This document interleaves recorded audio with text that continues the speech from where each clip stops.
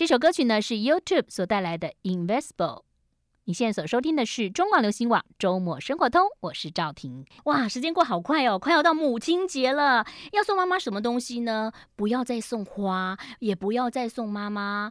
嗯，曾经送过的东西啊，其实我觉得很多的妈妈呢，这个最好就是有很贴心的东西，能够让她呢，哎，健康，然后变皮肤美美的哈。年度最优惠，今年呢仅此一档，独家就在好物市集的什么呢？就是广生堂的龙牙燕盏冰糖燕窝以及君燕幸福燕窝，他们特别选用这个越南的芽庄、平阳的燕盏，高营养价值，纯净没有污染哦。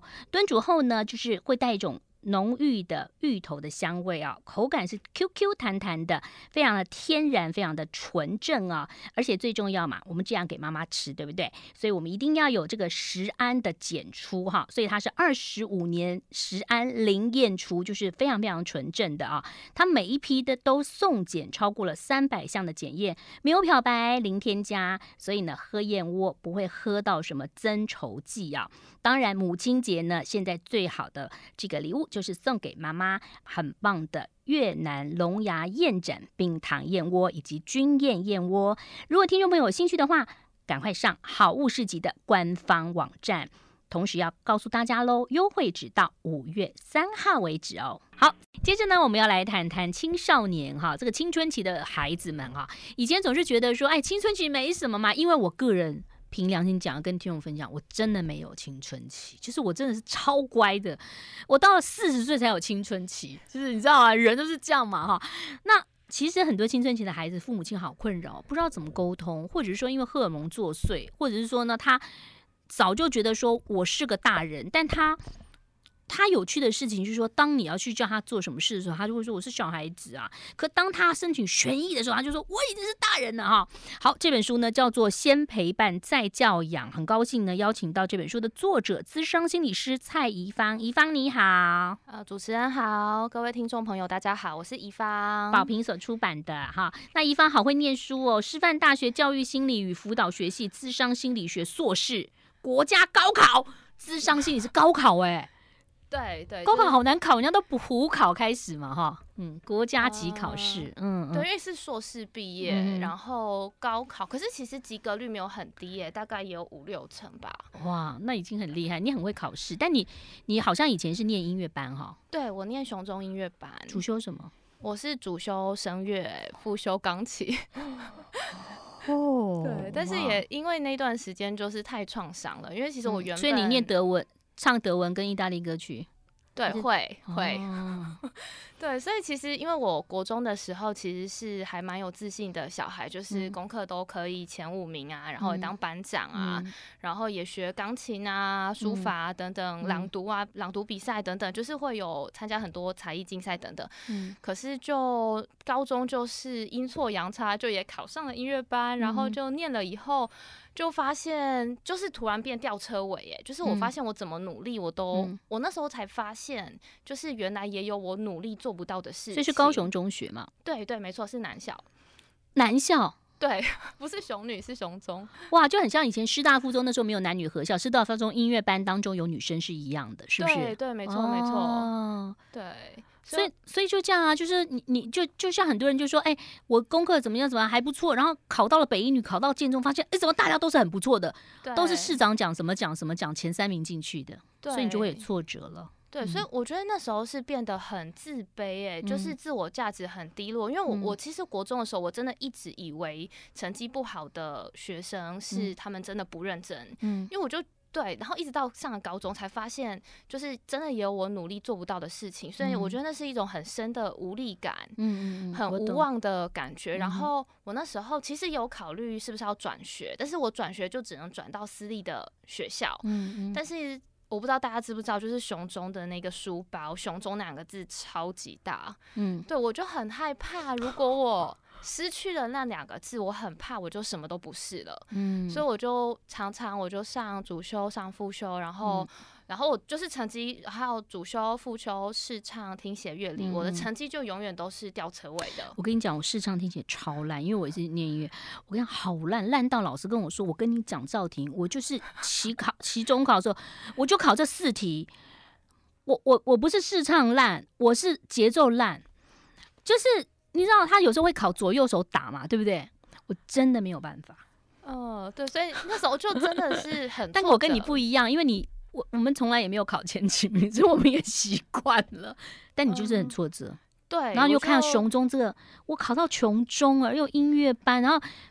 亲戚邻居都知道，从小就是功课好哎。对对，所以我那时候就常常，比如说上完主修课啊，然后就在琴房哭，然后都不敢让别人知道，就很可怜。所以那时候也才开始，就是对觉还在想说，我到底大学我到底要念什么？因为我很确定我不想念音乐了。为什么？你可能到时候念到师大音乐系啊。东吴啊，这些也不错啊，北艺啊、台艺啊，都很好啊。嗯，就觉得好像没兴趣了，而且就觉得自己好像真的天分不够，就是学不太来这样。对，所以那个时候也那时候也还蛮幸运，就是考上了江师大的辅导智商系。嗯然后在那里我遇到了很好的老师、很好的同学，然后在那里我觉得是一点一滴的慢慢找回自我认同的过程，因为我觉得高中。那三年其实是一个自我认同被击垮了，就是觉得自己一无是处，然后觉得自己不够好，觉得别人会因此不喜欢我。对，那是你是学科不好还是术科不好？呃，只有术科不好，我学科还是很好啊。但是就是大家不重视学科，对音乐班的大家都觉得，就你现在音乐班，你觉得你钢琴弹还不错，就是可是就考进去之后，发现大家都考得很好，而且你复修钢琴，搞不好人家复修考的弹得更好。对不对？而且其实我觉得是因为我自己个性本来就很容易紧张焦虑，所以我就会更容易就是失常，就明明都练得好好的，然后一一到就是台上就是弹的乱七八糟，然后所以也会很自责。而且考试的时候有时候冬天真的好冷，手会僵掉。我了解，对对对，我我真的 了解，有有被同理到，有被同理到。好，那你既然这样子，到高中是非常挫折的，所以后来其实你在这本书当中讲到先陪伴再教养，其实谈到就是青少年时期。其实也是跟你自己，呃，这个呃成长过程有关嘛，对不对？哦，那时候你父母亲呢，怎么对待你呢？我觉得在家里其实都还蛮好的，哎，就是。可是我我自己觉得，我可能有一点矛盾依附的状态，就是我在其中一章有讲到那个孩子是安全依附、矛盾依附或是逃避依附，因为我觉得我其实我就是那个所谓比较高敏感的高敏感的小孩，对对。然后我妈是一个非常能干，然后。呃，说话做事就是比较强势，所以可能当我跟他说了三个月都是同样的心事的时候，他就会开始觉得这到底有什么好烦恼的？可是那的确就是我很真实、很真实的烦恼。嗯嗯，对，所以我觉得，我觉得在这个家庭中是可以深深的感受到被爱的，但是我觉得很多时候是。那个心情没有被接住，嗯哼，对，然后再加上呃高中的那一段过程，其实可能也会有一点像青少年，就是报喜不报忧，或是那个微笑忧郁的状况，就是明明都躲在棉被里哭啊难过，可是就不想讲，因为爱可能爱面子，或是觉得讲了也没有什么用。嗯哼，好，我们待会就来聊聊你这本书当中谈到的哈，到底要怎么样先陪伴再教养呢？因为嗯，每个人都是当了妈妈或当了父父母亲才慢慢学会的，都从书上学。第二个孩子就从经验当中学，所以第一个孩子有时候的也是我们的实验品。好，休息一下，马上回来。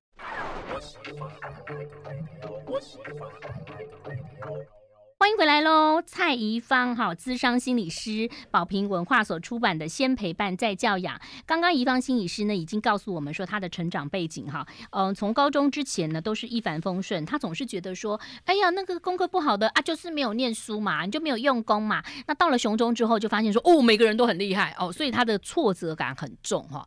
那事实上，我就比较在念书上比较不会有挫折感，因为我从来没有考过前几名，所以就不会有这种感觉。但是人生当中都会有很多挫折感啊，在情感上有挫折感，对不对？在事业当中会有挫折感，或者是说呢，哎，你拍照没有到 C 位，你有挫折感。哎，很多人在乎哎，我常常看到呢，一群人啊拍照，对不对？他明明没有在 C 位，他就把那一排的人把。把左边剪掉两个，右边剪掉两个，让自己排在 C 位。然后修图呢，总是修自己，旁边的人都变形，只有他自己最美 哈。这个 这个是非常有趣。好，回到了这个先陪伴再教养。其实你刚刚讲到，就是妈妈是比较直的人，所以当你是一个高敏感度的小孩，你一直跟他讲的时候，事实上他就觉得这三个讲了三三个月，你就觉得没什么。可是对你来讲是有受伤的，对不对？对我，我记得我在小学三年级以后，我就决定我再也不要跟他讲心事了。小学三年级，对，好敏感啊！真的，对我，我，我真的是，我觉得我自己真的是一个蛮敏感，而且也是那种不好带的小孩。就是，可是他可能也不觉得他他讲话让你受伤了，因为你都没有跟他讲嘛。对，对，对，对，没错，可能也不敢讲，或是那时候还真的还很小，就也不知道怎么讲，所以之后可能有什么心事，就比较会藏在自己心里。对，嗯，那青春期的小孩其实也是这样，对不对？哦，那很多青春期小孩，很多父母亲说，我真的就是不想跟他，不知道如何跟他沟通。比如说做事非常的拖拉，你这书上有写到说他的学习啊，他做功课啊，你叫他洗澡，叫他做什么都很拖拖拉拉，为什么会这样？到底我们要怎么样改变跟他的这个跟孩子的沟通呢？如果是以拖拖拉拉来说的话，我觉得可能要先确认孩子的那个念书的范围，他写作业的那个空间，就是移除一些视觉跟听觉的那个，排除视觉跟听觉的干扰，就让他在一个呃。正确的地方，他的书桌，还有台灯，然后桌椅也是正确的高度，就干干净净的地方。对，然后很重要就是那个手机的所有人是爸妈，而不是孩子。这很难哈，尤其青春期的真的很难呢哈。对，就是我觉得不要轻易的把整只手机就是送给孩子了，孩子就是二十四小时他想玩就玩，想开就开，而是他要做完功课之后，比如说你们约定好一天就是可以玩一个小时，他再再去玩，他可能就会为了他知道，哎，比如说。他做完这些事情，他可以去玩手机，那他可能就比较不会拖拖拉拉，他就会比较有效率完成。对，像我们就是已经这个底线就是六日可以玩，或者是一到四到五六日可以玩。那一到四中间，可能你写完功课、洗完澡、刷完牙，该做的都做了，哎，开放一下下，让他看一下下。嗯，对对，我觉得那个时间也是要事先约定好的，我觉得这个还蛮重要。然后，那拖拖拉拉会不会有？不仅是跟手机有关，会不会是因为他不会呢？或他不想呢？因为有青春期孩子，你也不知道他的情绪，因为他可能自己也搞不定自己的情绪，耶。对对，嗯，所以我觉得应该是，呃，就是我举个例子，比如说你的孩子今天就回来，他就跟我，呃，比如说他就跟你说，呃，那个英文太难了，我要把书全部烧掉，我不要念了。对，然后也可以想想看，你也可以先想想看，你如果是家长，你会怎么回答回应他？要是我的话，我会说，嗯。好啊，可是要去哪里烧呢？你你如果要的话，你就自己找个地方哦，记得不要引发火灾。那妈妈帮，我会这样，妈妈帮你那个，但你自己要把那个垃圾弄好。对，我会这样回答。对，我觉得这个感觉是蛮贴近孩子，因为因为有我发现有一些家长，他就会直接开启说教的模式，他就会跟你说：“你怎么可以这样想？这不应该啊！英文很重要啊，以后工作都会念用到。”那当我们这样讲的时候，可能孩子就知道说，反正你就是讲你那一套。因为我觉得很多时候我们的那个苦苦口婆心，其实我们很担心孩子走冤枉路，或是不希望孩子像我们以以呃像我们现在这样吃苦。不希望他做劳力工作啊，等等的，所以我们总是帮孩子设想好。但是有些时候，孩子他他没有自己跌倒过，他是想不到，他现在就是不想念，他就是讨厌。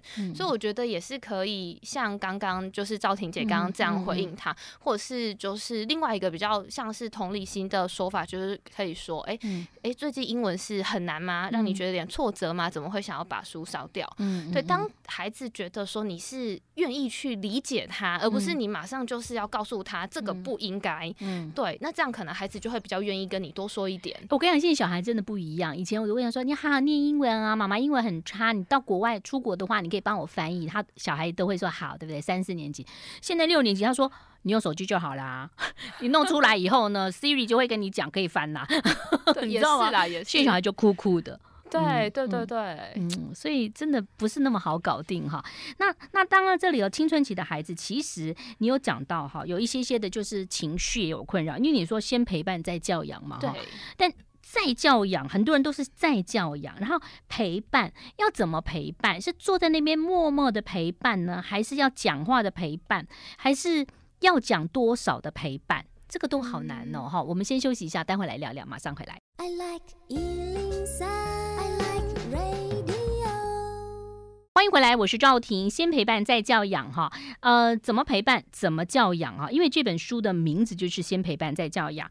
蔡怡芳资商心理师在我们的现场，先来谈谈要怎么陪伴。我们刚刚有讲到要怎么陪，要陪多久？嗯，对，然后到底要不要讲话？嗯。对，我觉得要看每个孩子的风格。比如说，有些家长跟孩子就是习惯那种好像朋友呛来呛去。那如果孩子可以接受，我觉得这其实也很好。嗯，那我想要介绍一个就是同理心公式。嗯，比如说，就是孩子今天回来，他就跟你抱怨说：“哎，今天小明都不理我。”嗯，对他觉得脸很臭，你就问问出来了。嗯，然后有些家长就会说：“啊，那小明不理你，你你可以去找小华玩啊。”嗯，或者是说，有些家长就会说：“啊，那个小明不理你，你是不是做错什么？”是，对。那我觉得，如果这两个说法孩子也都可以接受，我我觉得也很 OK。我觉得其实真的要看你跟孩子本身的关系。嗯嗯。那或者是当然，你也可以试试看另外一个，就是同理心公式，就是前面就是简述语义，然后后面是情感反应，这个是它的公式。嗯嗯。所以你可以说，今天小明。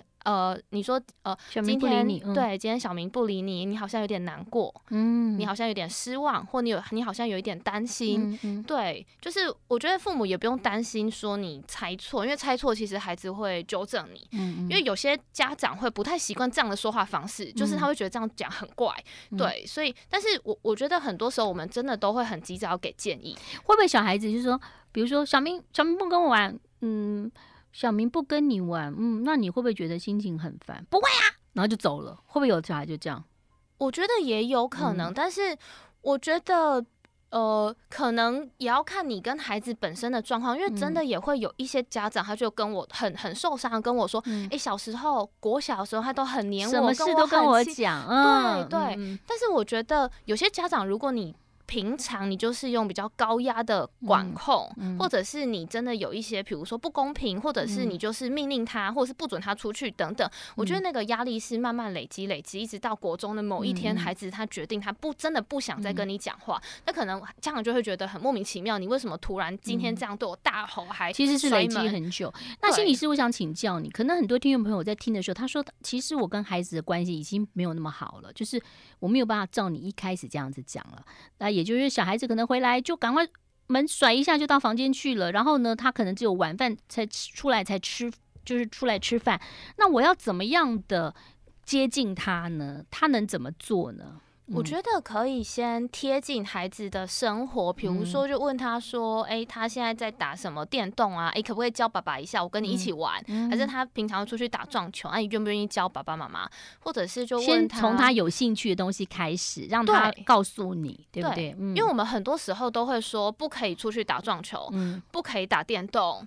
对，就是孩子就会觉得这就是我很喜欢的事情，或者是就是可能先不要马上回来问成绩，而是问他说啊，你今天怎么样？你说那个老班导很机车，他最近很机车吗？对，就是用他的用语，或者是你说哪个同学很你很呃，就是你跟他很好啊，他最近怎么样？有没有什么八卦说来听？那他如果你跟他说，哎，你说班导很机车，他很机车嘛？他就会说，对呀，我今天讲话，然后导我们老师就骂我，可是我只根本不是讲话，我只问同学这题怎么写，老师就说不要吵。自己写，那我们要怎么接？我觉得，我觉得很多时候父母的困难是你也觉得孩子错了，嗯，但我要怎么接后头的话？对，我觉得可以说哦，是这样哦，是这样吗？就不评论吗？我觉得是可以的，因为他愿意跟你讲，我觉得就是一件很好的事情了。代表父母可以讲，对啊，搬到很机车，哎，这样不行。我觉得可能也不要，因为二年级的朋友就会说。老师，我跟你说，我妈说你很机车。对，如果是一二年级，一定会这样子讲嘛，哈。嗯，对。然后我觉得等他情绪过后比较平稳之后，也可以再问他说啊，你觉得老师今天为什么要针对你？嗯嗯。对，我觉得可以再跟他，就是用一个比较像朋友的角度，因为我觉得青春期的孩子他们都觉得自己已经是大人了。对，就像我讲的，都觉得是大人，可是他要。要跟你要钱的时候，要什么时候他就说：“哎，我小孩子，我怎么可能？”对，比如说你，哎，你到 seven 去帮我买个酱油，哎，我小孩子过马路很危险呢，对不对？会这样子，对，会这样讲。嗯，对对，但是可能孩子就是他，我我觉得青少年其实是儿童到成人之间的一个过渡期。哇，这个时候很难教哈。嗯，对，我觉得是一个放手的艺术，你要放手到什么阶段？嗯，可是我觉得另外一方面来想，我觉得孩子真的也是在迈向独立的过程。嗯，因为你总不会希望他以后还呃什么事情都要问你，都要请你帮忙。嗯，所以我觉得是好的。但是就是怎么样呃帮助孩子慢慢的走向独立？就哪些部分你可以多给他一些自由？嗯对，那哪哪些部分你觉得，比如说生活中该约束的还是要约束？比如说先写完作业才能用手机，或者是出门出。去玩一定要先报备，或是几点回家？我觉得还是有一些呃基本的规范这样。因为我跟你讲，我觉得青春期的孩妈妈们呐，就是最要练的就是深呼吸。因为我看到一个书上有写到说，你想讲的话，你先深呼吸，然后六秒钟之后，它其实就是会不同的转换。因为你你六秒之前的出去的话，跟你深呼吸之后六秒之后可能会不同的反应啊。所以我们要练的就是这样，修炼一下哈。先休息一下喽，待会儿继续聊，马上回来。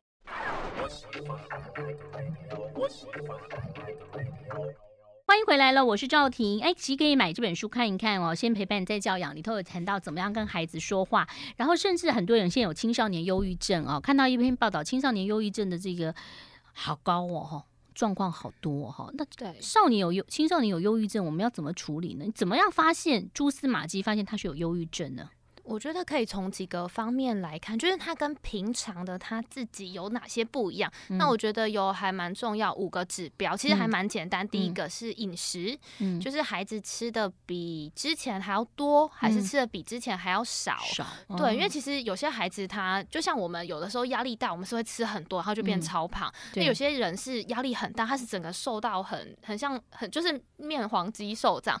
对，所以我觉得也可以观察一下，有些孩子就是压力大，他是暴饮暴。暴食食量的问题，对对对，然后有些孩子他就是真的食不下咽，都吃不下这样。那第二个很重要就是睡眠，嗯，就是孩子有些孩子忧郁，他是会嗜睡的，就是他就是整天他就是无时无刻他都都想睡，或者是甚至一觉可以从十二点再睡到隔天中午十二点这样。嗯，对。那有一些孩子他是就是睡不着，嗯，可能很多孩子睡不着哦。对对，失眠的问题，或者是做噩梦，半夜容易惊醒，或者是清晨就醒了，他就再也睡不。早了，嗯，对，就是第二个是失眠，嗯，然后我觉得失眠是最重要需要改善的，因为当孩子睡不好，其实他很容易影直接影响到的就是他的他的情绪，他心情一定容易不好，然后他上课也会很难以专注专心，然后也会比较容易跟别人吵架等等，嗯嗯，对，然后第三个是忧郁，孩子有没有忧郁的情绪？那忧郁症其实不代表孩子就是会，我们可能想象就会孩子就会一直哭，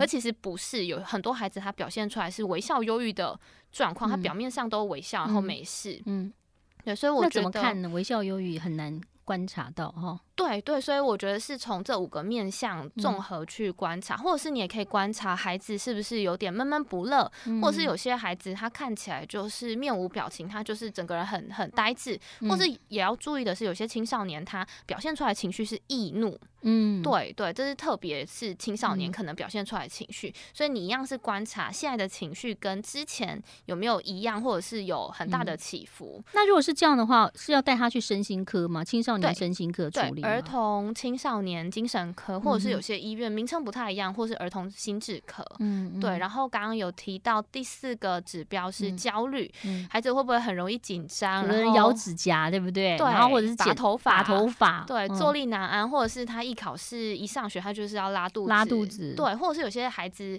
他会很容易表现出来，是他会很容易想要请假，他就会跟你说他今天头很痛，或胃痛。或以前我钢琴老师来的时候，我就跟我妈说，我好想睡觉。对，那可以是逃避、逃避、逃避、逃避。嗯，对。然后第五个是失功能，就是观察一下孩子他能不能还能正常上学、正常交友、正常写作业，还是他现在就是对于这些都提不起劲来，然后他都做不到。对，我觉得就是很五个很简单的指标这样。然后另外也可以观察是他对于他原本他喜欢的事情是不是失去了兴趣，比如他原本很喜欢。呃，烘焙，然后他现在是不是都不想要做了，或者是他有透露他想死的念头，或者是觉得活着没有意义啊，等等，或者说我在世界上存在都没有任何意义啊，我没有存在感啊，等等，对不对？对，这可能也是可能在学校也会引发。那那如果像这种孩子忧郁，可是孩子不见得愿意就医呀。对不对？嗯，对，所以我觉得这个部分可以从其他部分来讲，比如说改善你的失眠问题，让你哎可能吃个药、看个医生，听医生怎么讲，或许你可以睡好一点。嗯，对，我觉得是从孩子很很在意的点来去跟孩子讲，不然的确也会有一些孩子他是不愿意就医，或是跟孩子说这样可能比较好请假，老师会比较了解你的状况。因为孩子如果每天请病假，然后又拿不出那个诊断证明，因为不是不可能永远都在感冒或永远都在生理期嘛？对对对，对对，就是我觉得是看孩子哪一个哪一个说法他比较可以接受。现在好像很多的国中生有一些高中会有所谓的厌学，是不是？就是拒学，拒学，他们好像也都在家里头。对，然后会有一个时期，比如说可能跟季节有关系，对不对？因为我之前有听到有些心理师说，就是呃，一个学校可能就有一两个，就是在家里头不要出来。其实不止一两个，不止一两个吗？我现在手上就有七八个吧，应该是说就是不稳定上学啦。那我觉得他在家，他都在家里吗？不一定要看，我觉得可以分大概分两类，一类就是刚刚赵婷姐说的，就是在家里，他可能，所以我觉得这个部分要避免孩子有双重获得的状况。嗯，因为第一个孩子他在上学一定是有很大的压力嘛，比如说课业跟人际，其实就是两个很大的压力源。比如说有的是课业没问题，但人际有问题。对对对对对对。然后如果在家里他又可以使用三 C，嗯。然后躺在他的沙发上看电视、划手机、打电动。那爸妈又去上班，多好！对对对对，所以可能在家里是要零三 C，就是晚上就是依照原本的规范。有些孩子可能太无聊，他就会想要回去了。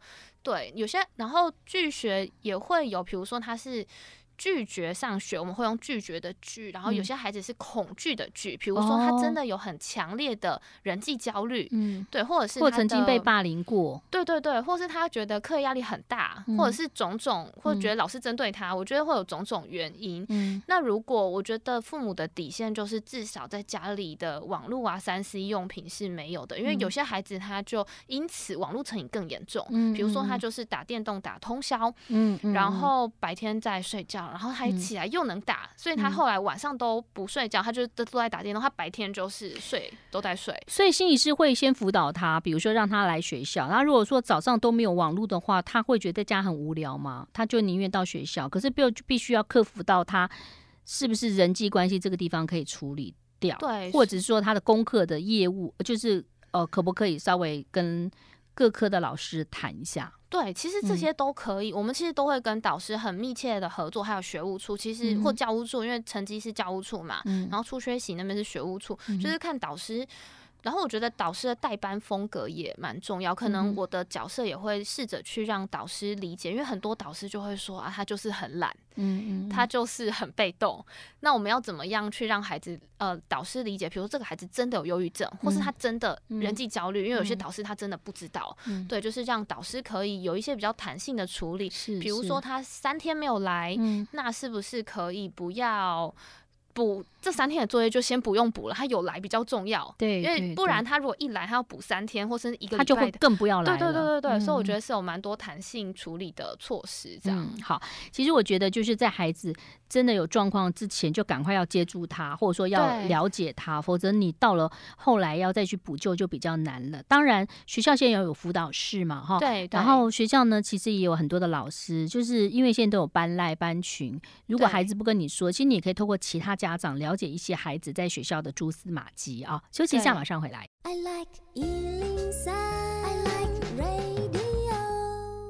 欢迎回来，我是赵婷。今天呢，介绍这个先陪伴再教养哈，蔡宜芳自商心理师，他这书上有写到了很多的内容，告诉大家就是说，哎，其实怎么样的让小朋友呢，能够或者是青少年能够跟爸爸妈妈哈这个亲近一点。但我觉得人的特质是这样子，有的人的特质就是，比如说。就算你跟他从小很亲近，有的孩子就是，比如说你生了五个孩子，教养都差不多，那有的就是不愿意讲，有的就是愿意讲。其实这个跟人的特特质也有关系嘛，对不对？也不用爸爸妈妈是不是也要放过自己？就像你书上有写到一样，就其实什么都做了，可是孩子还是这样，那要怎么办？我觉得父母的自我照顾真的很重要，哎，就是。因为我觉得有的时候，因为像我我自己也是双宝妈，嗯，对，所以其实我每天真的都很不想下班回家，因为我的小朋友大的五岁多，小的两岁多，就正在处处在一个会让人崩溃抓狂的年纪。很多上工作室上班族啊，有看到好多男生都在那个。就六七点还不下班，还宁愿也不是加班，也不知道干嘛，说为什么不回家？说哦，回家就要陪小孩玩，然后呢，嗯，还要洗碗，然后倒垃圾，就摆大家摆烂。到底女妈妈要先回家，还是爸爸先回家？对对，所以我觉得很多时候，我觉得我会对孩子发火或大吼的时候，其实是很多时候是因为我也累了。嗯，比如说上班一整天，或者是真的工作上有不顺心的事情啊，或者是我真的接了太多工作等等，所以我可能回家我就没有办法好好跟孩子讲话。那这样我就发现就变成一个恶性循环，就是姐姐就也很讨厌妹妹。嗯，对，因为她就是我可能就会骂她，因为可能就是有有的时候还是永远都骂老大哈。对对对，就比较容易骂老大，或者是觉得老老大你就让。让一下，让我 对，让我可以好好把饭煮完等等，对，然后他就会开始对妹妹也会很有敌意，嗯，然后对妹妹很凶，然后我就发现整个家的气氛变很糟，对，所以，但是当我自己状态是比较好的时候，我发现我是可以先深呼吸，然后我再好好的去回应他，然后可能其实我觉得孩子的情绪真的。来的也快，去的也快，就是我是指可能学龄前的孩子，那可能他只要发泄完之后，哎，其实下一秒他又很爱你，又要抱抱，然后跟妹妹又很好，又玩在一起了。所以我觉得那个自我照顾真的还蛮重要的。那青少年的妈妈会不会常常有挫折感？就是像我讲到一样，就觉得好像无力，就是很无力，每天回家都很无力，就做怎么样他没反应，冷感，眼神冷漠。就是这样，对，或者真的有敌意，那也许他可能就是因为他追一个女生，然后人家不理他，他回来就怒气嘛，也也有可能嘛，对不对？或者哪一个同学跟他说：“哎，你好肥哦。”他回来就觉得：“嗯，我不好。”对，但是我觉得也可以去理解一下，因为其实青少年的那个杏仁核是已经长好了，杏杏仁核是我们的情绪中枢，其实在几岁时候长好？在就是青春期的时候就已经发展成熟了哦，对，所所以就会很像我们的油门长好，但是刹车还没长好。刹车是我们的前额叶，它就是在帮我们踩刹车，一些理性的思考、决策、判断。这个呢，大概研究发现，女生大概二十岁才会成熟，男生要二十五岁，所以二十五岁是大学毕业。我个人觉得，男生有的前额叶四十岁都还没有长好，永远都长不好。对，所以其实青少年负向情绪的累积，或者是他会暴冲、暴怒啊等等，其实是有原因的。他油门已经好了，但他的刹车还没好。对，他的刹车要二十，要二十几岁，二十女生二十，男生二十五。所以我觉得听到我自己觉得很崩溃，很崩溃。对对，所以我觉得很多时候，如果孩子心情不好，这个杏呃，你刚刚讲是杏仁核呃前额叶。长好的妈妈面对一个前额叶跟呃没有长好的爸爸跟儿子，那不是疯了吗？妈妈不是已经疯掉了吗？对，所以我觉得很多人都会说情绪管理，情绪管理。可是我觉得更重要是那个情绪抒发。哎，嗯，因为像我们都会跟孩子说，不要生气，不要难过，或者是我们一定从小我们。别人也是这样跟我们讲，男儿有泪不轻弹，哭什么哭？你是男生呢，哈，对，好像女生就可以哭，男生就不能哭。对，所以男生的包袱可能又更重。嗯，但是我觉得也可以想想看，你说不要难过，不要生气，你就真的因为听了这句话就不难过也不生气了吗？很难，对会很难，而且可能又多了一个自责，一个很纠结的情绪，就会骂自己说：“我怎么可以那么爱生气？我怎么可以这么难过？”对，所以我觉得应该是当孩子有情绪，或是当当下你也很想要骂他的时候，就是双方真的是先离开现场，先冷静一下。对，然后等到孩子的情绪过后，然后你自己情绪也比较好，你再来来跟孩子谈。因为当一个人的情绪来的时候，他是你纵使你讲的再有道理，他其实都是听不进进去的。所以，与其讲不要难过、不要生气，不如讲说哦，我知道你很难过，然后我也可以理解你。你要不要自己先冷这个冷静一下，或者你自己先做一些你想要做的事情？待会儿你想跟我说的时候，再跟我说。对对对，我觉得这样讲蛮好的，就是先觉察情绪，然后我觉得可以去觉察，比如说我今天生孩子的气到底是怎么了？我为什么会这么生这个孩子的气？是不是？我觉得很多时候我们看到孩子，我觉得很多时候是看到。那个自己的不足，嗯，或自己不够好的地方，或是自己很讨厌、很没有办法。因为像我的大宝就是个性蛮倔强的，所以我就会也很受不了，或者他脾气很拗，或是他看起来有点笨拙的时候，因为我觉得这很像我，然后是我没办法接受自己。哦，嗯，对，所以我有时候就会对他，比如说扭扭捏捏的那个态度，我就觉得，哎，你不能大方一点吗？有这么难吗？嗯，对我觉得其实我是在气我自己，我是没有办法接受，可能小时候过去那个。可能这对我来说是不不够好，不够完美，所以我觉得去觉察你的那个情绪背后，你自己有没有更深层？比如说你都会为了孩子的某个行为，你会非常非常的生气。当然，可能生气是很正常的嘛，因为孩子做不对。但是如果你对于某个行为你是有很强烈的情绪的话，我觉得也可以去觉察去。感受一下，哎，那是不是跟你自己过去的生命经验有关？所以也许不是孩子的问题，是你自己的问题，对不对？对。像我女儿就很知道，说妈妈只要想睡觉跟饿，心情就会不好。我就说，哎，我今天好想睡哦，你就差不多十点半要记得睡哦，我九点半就要睡，我就不管他，我就关灯，我就睡了。但我不知道他有没有十点半睡了，那是他爸爸的责任呐。我觉得有的时候也要放开放手。反正呢，他起得来起不来也是他的事嘛，对不对？他就算迟到，他去学校也是他被骂。对，是他要面对，因为很多家长都会把这个责任扛在自己身上，所以孩子不睡他也不敢睡，或是孩子写作业到半夜十二点，他就陪到半夜十二点。所以这样的孩子当然就不会为自己负责，因为他知道妈妈总是会帮他擦屁股。嗯，所以就像我们说的，比如说有一个越能干的女人，就会有一个越懒惰的男人，或者是小孩这样。所以很多时候那个亲子关系也可能是互补的。是是，好，那那介绍这本书。哦，不管说你是怎么样的要跟孩子沟通，或者是说呢，你不知道怎么样呃照顾青少年啊，这里头都有讲到。还有最重要就是也要照顾一下自己的情绪，先陪伴再教养。谢谢蔡怡芳智商心理师，谢谢你，拜拜。